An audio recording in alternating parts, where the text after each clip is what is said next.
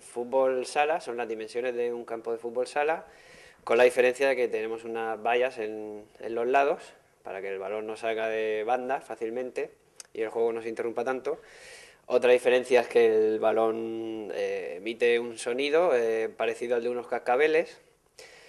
Y, y, bueno, la otra diferencia principal es que los cuatro jugadores de campo somos ciegos. El portero ve, el portero ve bien y bueno, tenemos eh, eh, el portero que nos guía en defensa, el entrenador que nos guía en el sector central de la cancha y detrás de la portería contraria también hay un, guía que nos indica un poco, nos da unas pequeñas indicaciones en, el ataque. Esas son básicamente las diferencias con el fútbol sala.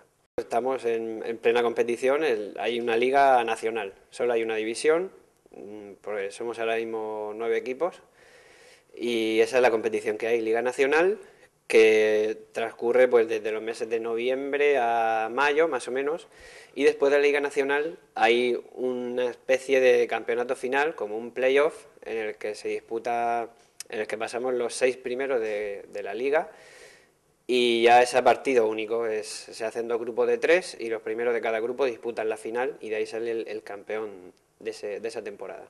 Es muy bueno, eh, prueba de ello es que España, pues, eh, en todas las competiciones internacionales sigue ocupando puestos de podio. Hemos, hemos sacado el bronce en las Paralimpiadas este verano.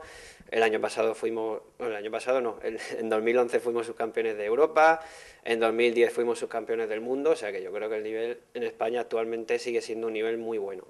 Suena atópico, pero es algo súper especial después de participar, he tenido la suerte también de participar también en europeo, en el Mundial de hace dos años que te comentaba, pero como una Paralimpiada no hay nada. No hay nada porque estás con un montón de países, cientos de países, eh, conoces mucha gente, estás en la Villa Olímpica, que es impresionante es hoy por hoy, aunque aquí en España quizás tenga un poco menos de repercusión que lo que puede ser un mundial de fútbol, por ejemplo, pero el, tema de las Olimpiadas y Paralimpiadas es hoy por hoy, sigue siendo la, competición absoluta, la más importante del mundo.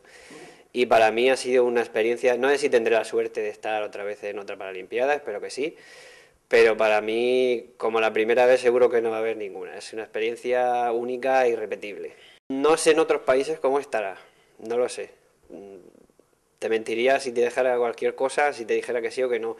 Lo que te puedo decir es que en España, desde luego, está mm, bastante, bastante mm, menos reconocido que, el deporte olímpico, aunque hay que decir que este año, eh, por suerte, en esta, en esta edición, en estas Paralimpiadas 2012, hemos tenido una repercusión que nunca hemos tenido eh, se han empezado a retransmitir todos los eventos por televisión y, hemos mejorado muchísimo en ese sentido y espero que sigamos mejorando.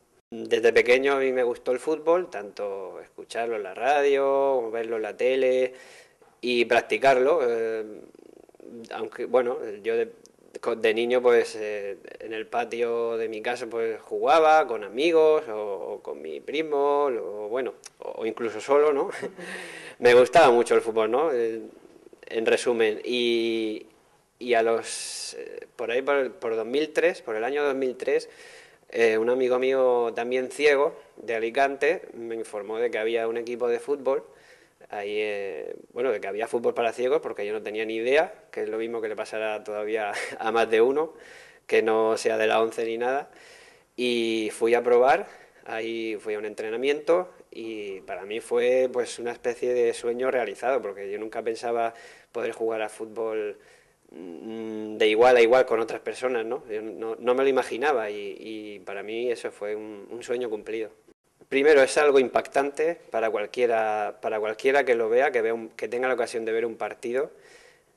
Le guste el fútbol o no a una persona es algo impactante, mm, porque nadie se imagina hasta que no lo ve cómo pueden ocho ciegos correr detrás del balón, ¿verdad? Y, y después que no, no, deja a nadie indiferente. Eh, yo creo que, no sé, es una de esas, una de esas cosas que, que, te da la muestra de, cómo el mundo avanza, de cómo el mundo progresa y por supuesto de cómo que te enseña de cómo las personas podemos hacer muchas más cosas de lo que de lo que en principio la sociedad Mm, te dice qué hacer o no hacer. Estamos inmersos en la liga. De momento el equipo de Alicante marcha tercero, estamos ahí eh, peleando por uno de los primeros puestos, así que mi próximo reto pues es ese, quedar en un puesto alto en la liga y poder eh, por lo menos disputar la final del, campeonato final de España, que es algo que todavía no he podido conseguir con el equipo de Alicante y estamos trabajando mucho para conseguirlo y me haría mucha ilusión conseguirlo.